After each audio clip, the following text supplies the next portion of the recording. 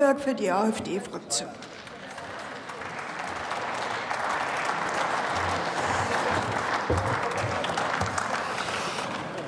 Herr Präsident, sehr geehrte Damen und Herren!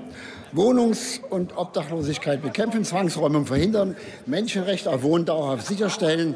So die Fraktion Die Linke und Bündnis 90 Die Grünen. Ich habe mir das mal durchgelesen und habe dann eine neue Überschrift für Sie gefunden. Ich würde schreiben, Sozialneid schüren und Eigeninitiative verhindern. Das würde ich über diesen Antrag schreiben, meine Damen und Herren. So könnte man das sehen.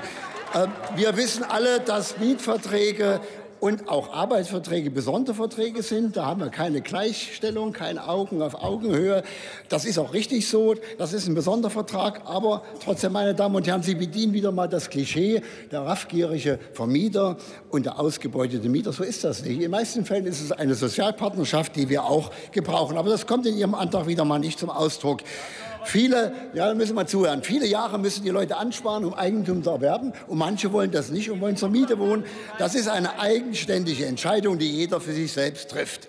Die hohe Anspardisziplin und auch unternehmerisches Risiko, Mietausfall durch nicht bediente Annuitäten kann viele Vermieter auch in den Ruin treiben, meine Damen und Herren. Und das, wie gesagt, sollte man dabei auch, wenn man diese Zielgruppe immer so angreift, mit bedenken.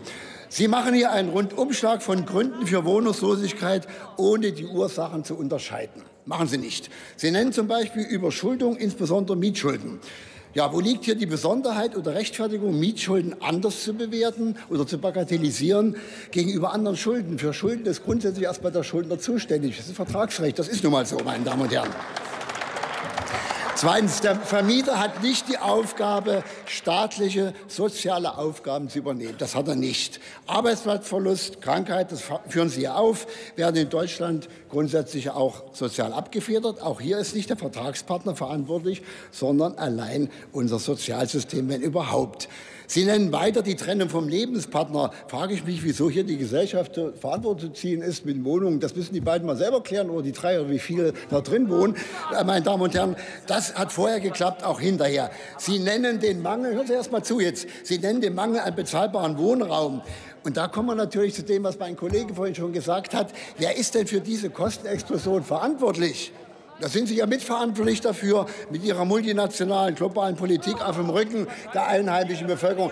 Da glauben Sie denn wirklich, äh, meine Damen und Herren, wenn Hunderttausende, Sie können scheinbar nicht mal rechnen, wenn Hunderttausende in das Land strömen, wo sollen die wohnen? Kommen dann die schlagartig wie Gras aus der Erde? Wie stellen Sie sich das vor? Die müssen gebaut werden. Dann nehmen Sie auch noch die Leute aus der EU rein. Die wollen Sie auch noch haben, dass Sie nach drei Monaten, die schreiben bloß mal einen Antrag, ich suche Arbeit und da soll in die gleichen Rechte reinkommen. Also Sie haben irgendwie, irgendwie noch irgendwie so einen Geld Goldesel, den Sie ständig aufmachen können, um das zu bezahlen. Geschätzt geht das in viele Milliarden.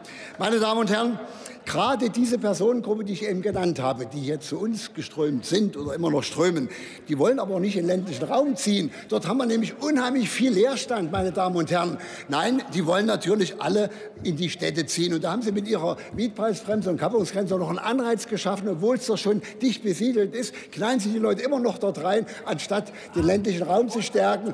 Nein, sie müssen den ländlichen Raum stärken, das begreifen sie nicht. Und da müssen sie den stärken und nicht noch die überfüllten Gebiete mit diesen Instrument, meine Damen und Herren. Das ist entscheidend.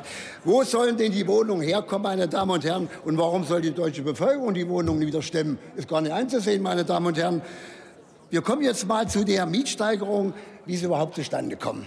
Einmal haben wir erhöhte Baukosten haben Sie alle mit dran gewirkt. Dämmvorschriften, Energieeinsparverordnung, Energieausweis, Solardächer und so weiter und so weiter. Ja, das kostet alles Geld, das wird doch umgelegt. Ich glaube, das haben Sie immer noch nicht verstanden, dass Ihre Aktion natürlich das Bauen verteuert haben, in jeder Beziehung. Dann haben wir solche Kuriositäten. Meine Damen und Herren, ich habe hier noch solche Kuriositäten. Das Sperren von Öfen und Heizungsanlagen wegen angeblich überzogener Abgaswerte. Da werden noch Öfen rausgeschmissen, die ganz normal noch funktionieren. Die müssen alle verschrottet werden, wieder neue Erz abbauen, wieder neu herstellen. Wunderbare Planung, auch Umweltkosten. Meine Damen und Herren, noch mal eins zum Thema. Nebenkosten sind keine Mietkosten. Das sind keine Mietkosten. Können Sie sich auch mal anhören. Nebenkosten sind Abgaben, auf, äh, sind Abgaben die der Staat teilweise mit zu, äh, äh, zu verantworten hat.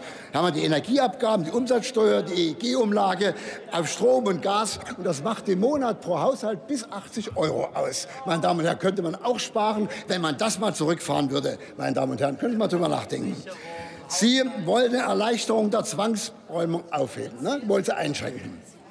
Ja, aber für den Bürger, der in die dritte Säule der Altersvorsorge investiert hat, ja, da haben Sie nichts übrig für den, ne? da haben Sie nicht übrig, interessiert Sie nicht. Keinen haben Sie nicht verstanden, nicht? Der kann durch die säumlichen Zahlen in Ruin getrieben werden, ist für Sie auch interessant. Sie machen hier eine angeblich soziale Welle durch Ausgrenzung derer, die allein den Wohnraum erst geschaffen haben. Wie grenzen Sie aus, meine Damen und Herren? So, die Forderung Begrenzung des Mietpreises.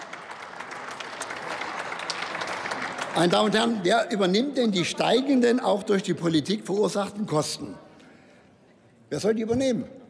Wenn Sie das dem Vermieter aufdrücken, dann wird die Attraktivität der Vermietung natürlich zurückgehen. Es wird weniger Angebot geben. Aber das müsste selbst Ihnen einleuchten. Aber da habe ich so meine Probleme, ob Sie das nachvollziehen können. Meine Herr Damen und Herren. Achten Sie bitte auf die Zeit. Ja, dann kommen Sie zum Schluss. Dann gehe ich zurück. Äh, an die Linken, meine Damen und Herren, Sie haben doch beklagt, den sozialen Wohnungsbau zurückgegangen oder städtische. 2013, hören Sie erst mal zu, 2013. Das müssen Sie bitte jetzt im ja, Ausschuss klären. 1,7 Milliarden D-Mark eingenommen bei dem Verkauf aller Dresdner Sozialwohnungen mit den Stimmen der Linken. Recht vielen Dank. Wiedersehen.